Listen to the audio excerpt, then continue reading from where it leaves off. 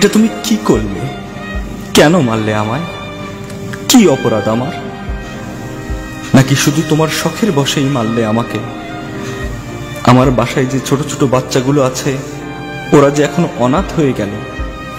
ওরা এখন খাবার না পেয়ে যে শুকিয়ে মারা যাবে এটাকে তুমি একবারও ভাবলে না? তুমি নাকি সৃষ্টির সেরা জীব?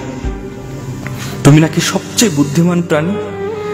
তাও তুমি কেন আমাকে এত ক্ষত বিক্ষত করে যন্ত্রণাদায়ক মৃত্যুটা দিলে?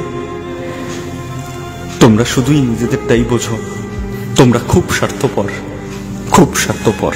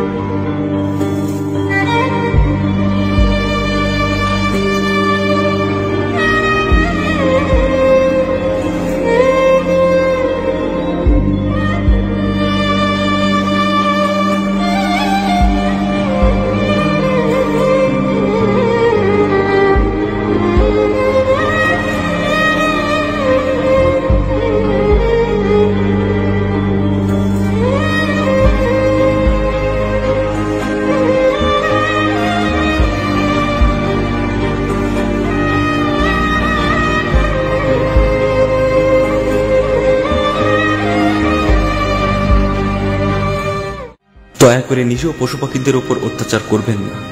কারণ এদের একটা পরিবার আছে। এদের পরিবারের সদস্যগুলো এদের জন্য পথে অধীর আগ্রহে বসে থাকে।